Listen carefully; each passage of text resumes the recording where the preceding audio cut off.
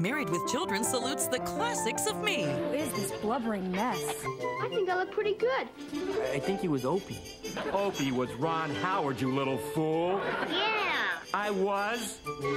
No, I am the Beaver! Well, his acting career's come a long way. At least my father doesn't sell women's shoes.